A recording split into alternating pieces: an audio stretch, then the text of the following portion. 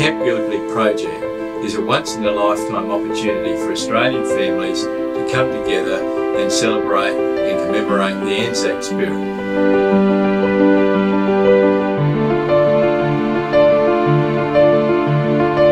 Kids find some form of uh, traction with, with what happens. They, uh, they find, I think they're connected to it.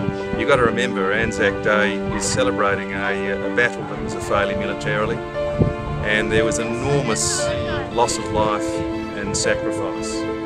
But in the, in the face of all of this adversity, there was this bond, this spirit. Um, and I think it's this spirit that uh, sort of stands Australians apart from everyone else.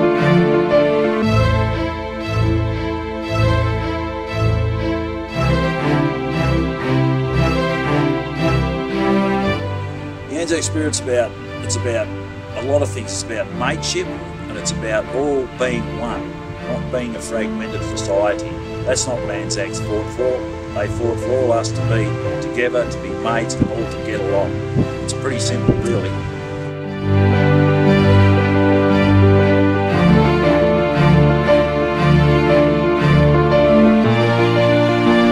The Anzac spirit is important to all Australians in the city and in the country.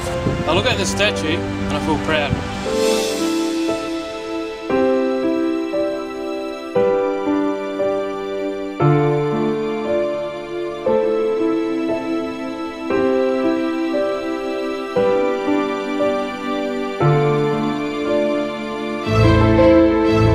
Camp Gallipoli really is a once in a lifetime opportunity.